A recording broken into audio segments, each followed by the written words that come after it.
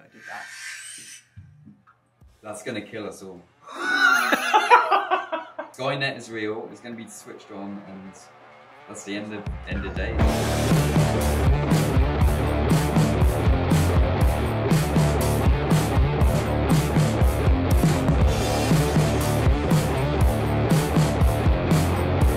The other day, I found out that Tony had a DJI FPV drone. These are the drones where you wear the goggles and you can do really big dives and flips and you kind of see it in all the movies. And this is a drone that I've been wanting to learn to fly for years. Let's take a look at the first experience. So I came in today and ended up getting a massive surprise because Tony turned to me and said he'd brought a special toy into the office. And that special toy, what was it? It was the DJI FPV. The thing I've been dreaming of the thing I want to learn and be super good at. We have one, so I don't have to spend loads of money getting a remote control for five hundred pounds. I didn't I did that. That's gonna kill us all.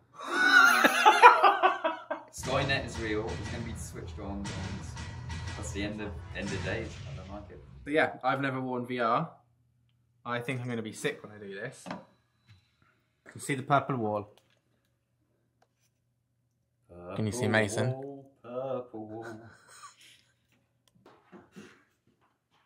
This is horrendous. You look like Bane from the back. Oh.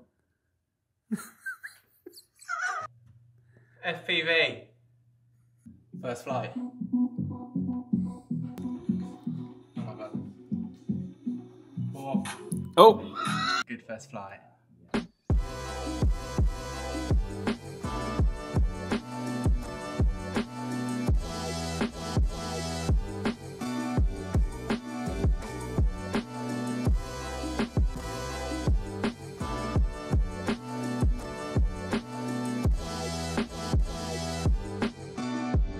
Over the coming months, we're going to be documenting the entire process from learning how to fly heavier drones to doing online courses, simulator flights, all the way through to our first real flight. So be sure to keep an eye out for the entire process.